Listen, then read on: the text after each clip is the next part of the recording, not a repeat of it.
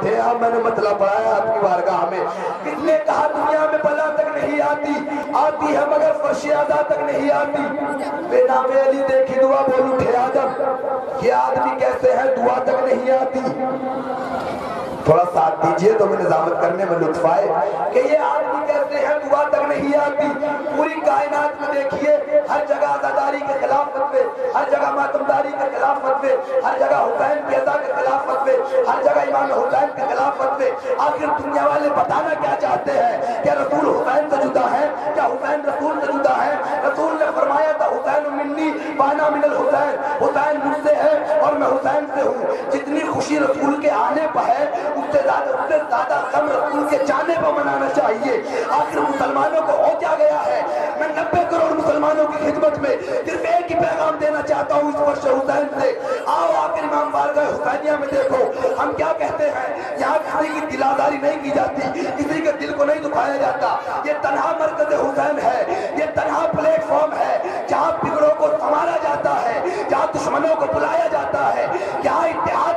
اتحاد دیا جاتا ہے۔ شاعری پیش کر رہا ہوں اس نے کہا دنیا میں بلا تک نہیں آتی آتی ہے مگر فرش ادا تک نہیں آتی۔ بے نام علی دیکھی دعا بول اٹھے آدم یہ آدمی کیسے ہے دعا تک نہیں آتی؟ ارے کیا فتوے لگاتے ہو ہمیں شاہ کے اوپر؟ کیا تم کو محمد سے حیا تک نہیں آتی؟ لگاتے ہو ہمیں شاہ کے اوپر۔ کیا تم کو محمد سے حیا تک نہیں آتی؟ اب اب بھی اگر کوئی فرش بنائے تو اپنا اپنا مقدر ہے۔ میاں، جو لوگ یہاں آگے بیٹھے ہیں، انہیں یقین ہے، سو فیصد کہ اس کی قبر میں علی آئے گا۔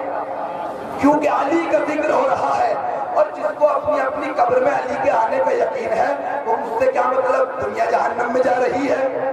دنیا جہنم میں جا رہی ہے، وہ بھی چلے جائے، اس سے کیا مطلب؟ لیکن رسول نے فرمایا، معصوم نے فرمایا، اگر پوری کائنات علی کی محبت میں جمع ہو جاتی، تو اللہ کو کیا ضرورت پڑی تھی جہنم کو خلق کرتا؟ یا علی یا علی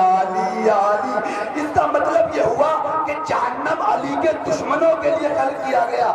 اب شعر پیش کرتا ہوں۔ اپنا اپنا مقدر ہے۔ چاہے سن کے علی کو قبر میں بلا لینا۔ چاہے سننے کے بعد اس کو اگنور کر کے شعر کو اپنی قبر میں شیطان بھوت۔ اس کے علاوہ کیا کیا آتے ہیں؟ جس کے جیسے اعمال ہوں گے ویسا ہوگا۔ لیکن میں حقیقت پیش کر رہا ہوں کہ کیوں فتوے لگاتے ہو؟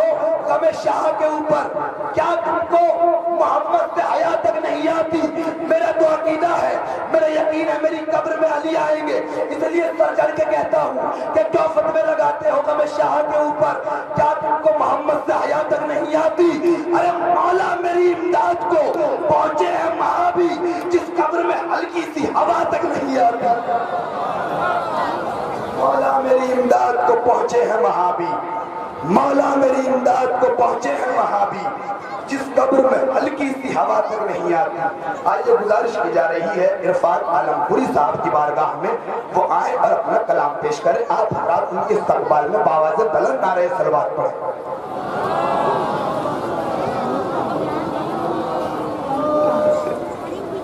حضرات مومنین چار سے حاضر کرتا ہوں سورہ فاتحہ کا مسترب دین الہی کا سفینہ کیوں ہے؟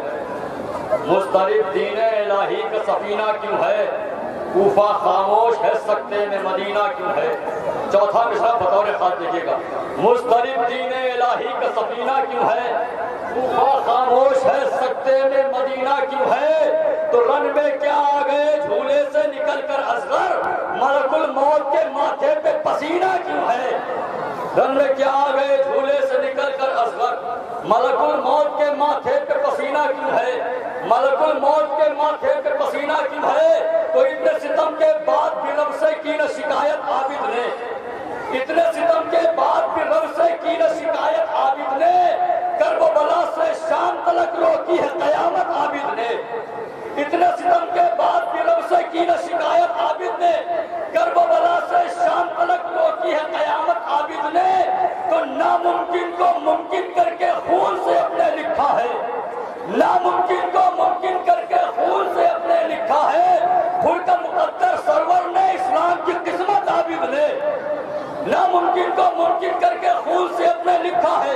خود کا مقدر سرور نے اسلام کی قسمت عابد نے تو اب تو سمر سکتا ہی نہیں تو لاکھ کرے سنگار یزید۔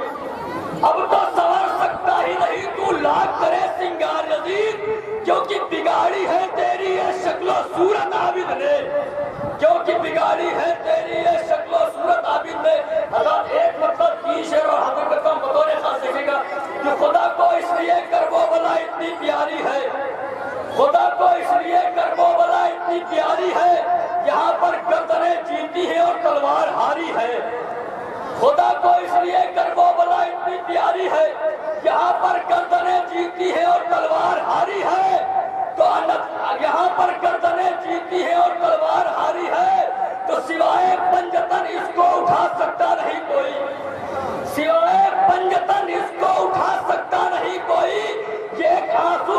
کا بھی کرے، خیبر سے بھاری ہے۔ سوائے پنجتن اس کو اٹھا سکتا نہیں کوئی۔ یہ ایک آنسو کا قطرہ بھی درے خیبر سے بھاری ہے۔ تو اگر ہم خاک پر بیٹھے تو مت دیکھو حمارت سے۔ پوری کائنات کو چیلنج ہے کہ اگر ہم خاک پر بیٹھے تو مت دیکھو حمارت سے۔ فقط سرور کے ماتمدار کی یہ انکساری ہے۔ فقط سرور کے ماتمدار کی یہ انکساری ہے۔ تو ہمارے آنسوؤں کا روب ہے سارے زمانے پر۔ ہمارے آنسوؤں کا روب ہے سارے زمانے پر۔ ہماری قوم مٹھی بھر ہے تب بھی سب پہ بھاری ہے۔ ہماری قوم مٹھی بھر ہے تب بھی سب پہ بھاری ہے۔ حضرات، ایک ضروری اعلان سماعت فرما لیں یعنی انجمن رونق اسلام کے ممبران سے گزارش ہے کہ تقریر کے فوراً بعد انہیں نوحہ ماتم کرنی ہے۔ رونق اسلام کے تمام ممبران سے گزارش ہے کہ تقریر کے فوراً بعد آمادہ نوحہ ماتم رہے بلندر نعرہ صلوات۔ ماشاءاللہ جزاک